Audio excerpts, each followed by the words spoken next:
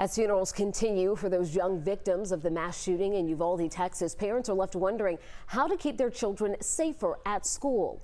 Tracy Amick Pierce spoke with one company in Cobb County that hopes their bookshelves will help. All these mass shootings, when you have a significant loss of life, it's because he gains access to the room.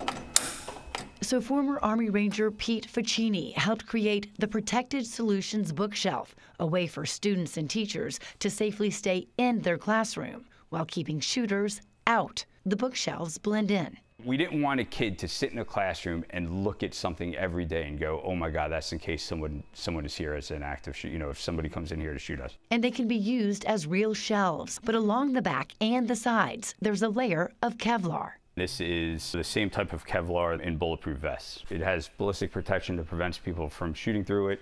Um, and then obviously the big thing is it prevents anybody from gaining access into the room. Ficini says once a lockdown happens or an alert goes out, it would only take a teacher or a couple of students a few seconds to pull the bookshelf out from the wall, lined up, and locked into place. Ficini says it's not just schools that can use the shelves. Stores can have them in stock rooms, and some churches and synagogues have also reached out, adding another layer of protection if all else fails. We could have saved those kids, and we have to stop thinking it's not going to happen to us. Ficini says right now these bookshelves are already in place in school districts across New Jersey, but they hope to have them in districts here in Georgia and across the nation. In Acworth, Tracy Amick Peir, 11 Alive News.